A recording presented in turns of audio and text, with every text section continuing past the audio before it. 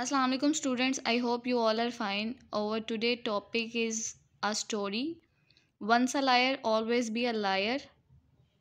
There lived a shepherd boy in a village near a pasture. He collected sheep and goat belonging to the villagers and took them to the pasture to graze.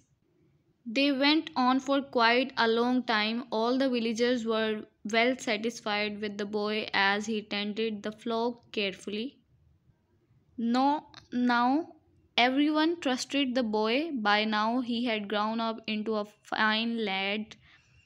One fine morning, when he was busy in looking after the animals, an idea came to his mind to make fun of the top of a mount nearby and cried aloud, Wolf, wolf! The villagers rushed to the pasture to save the boy and the flock.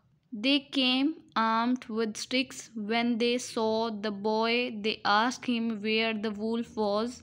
The boy began to laugh. Everyone was angry with silly boy and went back grumbling. One day the boy again did the same mischief and the people of the village were so unhappy that they decided not to trust him in future. After some time a wolf did come. The boy cried, Wolf, wolf, many times at the top of his voice. The villagers did hear his cries but thought he was again joking. No one come to his help. The wolf not only killed some sheep and goats but also the boy. Moral Once a liar, always be a liar. Okay, students, our today lecture is finished here. Allah Hafiz.